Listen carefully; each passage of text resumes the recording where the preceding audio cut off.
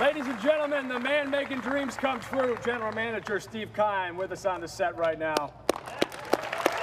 Now that the dust is settled, my friend, how do you grade how this draft shaped up for you guys? Well, I'm exhausted, number one, but um, you know, I, I think it not only did we fill a bunch of needs, uh, which isn't the purpose of the NFL draft, it's, it's to take your organization and, and sort of catapult it forward. And there's no doubt, in, in my opinion, and the people in our draft room, that uh, not only did we fill a bunch of needs, but uh, we brought in a bunch of players that are going to make sure that we have a tremendous amount of success moving forward. Steve, other than Kyler Murray, of course, in the first round, is there one guy that kind of stands out to you? One guy that really intrigues you and you can't wait to see what he might be able to bring to the table? Well, I mean, I think it would be Zach Allen, the third round pick, and just off the top of my head, uh, the intensity that he plays with, the motor that he has. Uh, almost every snap is like his last, and that's really what it's all about. I mean, for a defensive lineman to have 100 tackles is, is phenomenal. I don't know that I've scouted a guy that's had that type of production. Uh, he's disruptive on every snap, uh, plays with great technique, and uh, at the end of the day has, has the kind of character we want in our locker room. Let's talk a little bit about what went into selecting Kyler Murray number one overall. A bit of an unorthodox decision, I think, to the, the outsiders. A lot of speculation leading up to the draft that made it very exciting when you guys were on the clock. But now that the smoke has sort of cleared a little bit, when were you personally convinced that he was going to be your guy? And when do you think he knew that he was your guy? Well, I, was extremely reluctant to even watch the tape because I didn't want to fall in love with, with the player. Really? Yeah, but. Uh, I wanted it to be organic as well. Uh, Michael and I sat down and we talked about it. Uh, we, we are not going to be in this position again, so we have to make the, the most of the opportunity. Uh, and there's no doubt as we went through the process, uh, our scouts looked at the players, our coaches looked at the players. I had a chance to evaluate them. Uh, it was crystal clear in the end that Kyler Murray was the guy. And I said this in the press conference that uh, in the 20 plus years I've been scouting, I've seen guys who can run it like him, can throw it like him. I haven't seen this type of combination from a skill set standpoint. Based on what you just said, Steve, what is your expectation for him? What, what, what kind of expectation can there be for a rookie quarterback that comes in the league like Kyler Murray? Clear and, and simple, and that's to win football games. Uh, and, and I think he can do it right away. Uh, there's no doubt in my mind that he is a fierce competitor, number one. And number two, his feet can get him out of trouble, which is obviously a prerequisite for that position nowadays. Uh, and his ability to throw with accuracy and timing and touch. And he has a great ability to see the field with his progression and his reads. So we're extremely excited. You traded Josh Rosen to the Miami Dolphins this afternoon. Do you have any regrets on how the Rosen situation unfolded? And if you could go back in time and change anything, would you? No, no, I mean, uh, this is a tough business. Uh, Josh is, is a real pro. He's handled it with, uh, with great dignity. Uh, we have to make tough decisions in our business. At the end of the day, uh, we have a job to do, and that's to make this organization as good as we can. Can you talk a little bit about your free agents and some of the free agents that you signed? Is there one that really stands out to you, a guy you personally like signing the most? Well, we're still in that process, Wolf. I mean, the ink isn't dry yet, so we're still going through the, the necessary uh, uh, signings right now.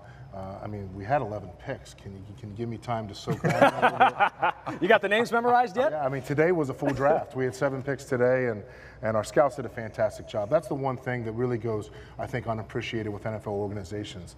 These guys are on the road almost 200 days a year. Uh, it's a selfless job. They're, they're away from their families, and they make a lot of sacrifices uh, for us. And Michael and I just talked on the way in here how much we appreciate those guys.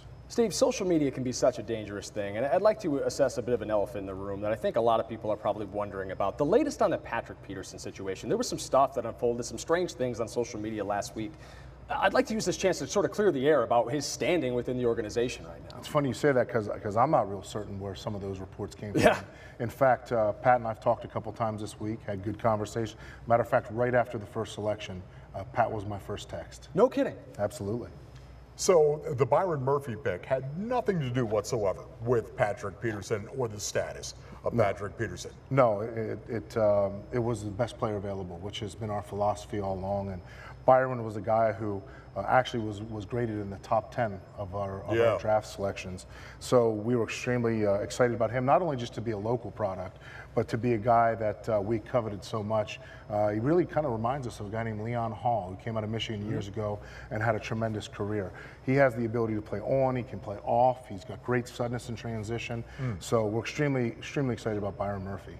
Are there any bonus points for being a local product? Because one way or another, you guys have sort of compiled a list of guys that have a ton of Arizona ties. Well, there's no doubt if all things being equal, we're going to stay with the hometown kid.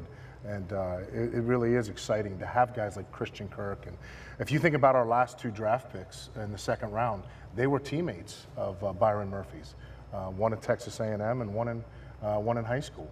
So, uh, or I'm sorry, uh, University of Washington in Budda Baker.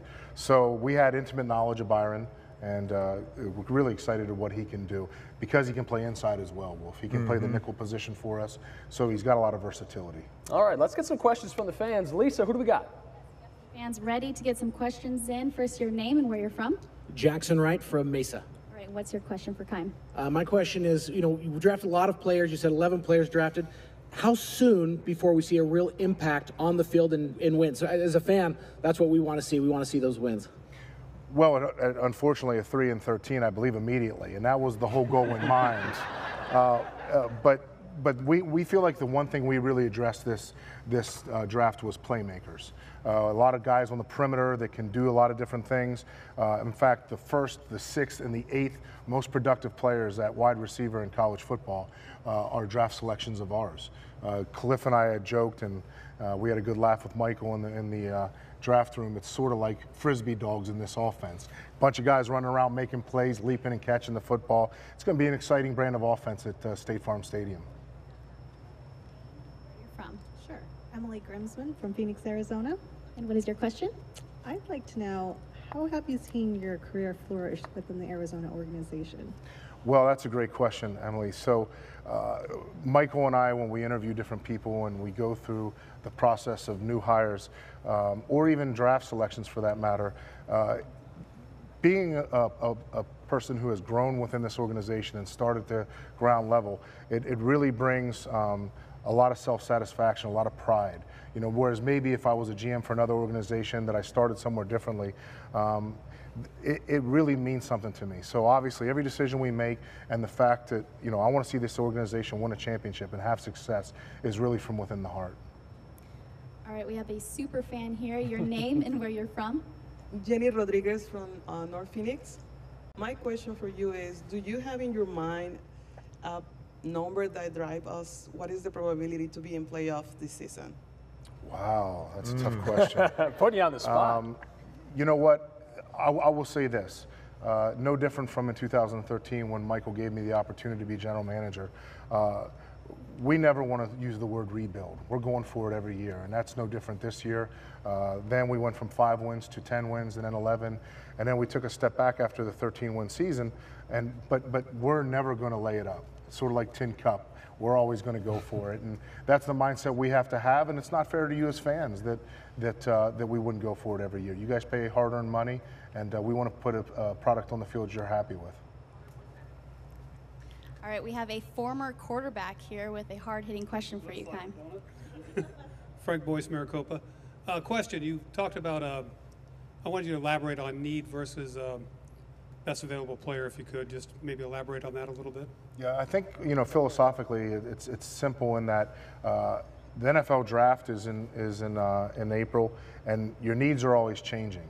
Uh, so when your needs in April are one thing, by the time you get to October through attrition or whatever it may be, uh, they always change. But you can never have enough good players. You can never have enough depth. So that's the mindset that we take. We never want to reach and leave a better player on the board because in the end, it'll come back and bite you in the end. All right, final question from our fans here. Your name and where you're from. Frank Gonzalez III, North Phoenix.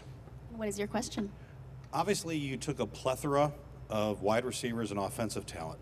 Is that predicated on the offense that you're going to be running, or, and, and I guess the next question, how many wide receivers do you think you're going to keep on the roster? Well, that's a great question as well. I would say probably six is the uh, is the number that we'll uh, tentatively keep, and and it's not just the offense. It was the fact that the board fell to us that way. There was great value in those picks, and and we all saw our offense last year. We finished dead last. We needed playmakers, and that's simply what we did. You know, our tight end, even in the seventh round, led college football in in, uh, in yards, 965 yards, I believe, for a tight end, which is, is is amazing. But we needed guys who could do different things outside. They all came in different shapes and sizes. Hakeem Butler's huge, Isabella's smaller and explosive. We know KeeSean Johnson can do different things, whether it's the Z or the X spot. To me, one of the most natural route runners in this draft. So really excited what we've added in terms of weapons to go with Larry and guys like Christian. And we all know what David Johnson can do out of the backfield. So, Steve, go ahead and talk a little bit about what is next for you now the draft is over, the undrafted free agent signing period of rookies, right? I, Right. I would imagine that is. Tell, take us through that process and tell us a little bit about that. Well, our rookies will come in in two weeks for the rookie mini camp, but uh, but there's no time to rest, and, and that's that's our mindset is we want to stay aggressive. If there's going to be any opportunities out there in free agency, and we've done it in the past where we've signed guys late in the process, whether it's been John Abraham in August, uh, uh, uh, Jermaine Gresham in August, we will continue to monitor free agency uh, and guys that may be out there that are looking for a home that maybe over or underestimated the market and uh, are looking for a home. And there's no doubt that we know because of the Valley and because of this organization and all the great things we have to add, we have a chance to recruit and sell it to players. Ladies and gentlemen, a round of applause for your general manager, Steve Keim, for coming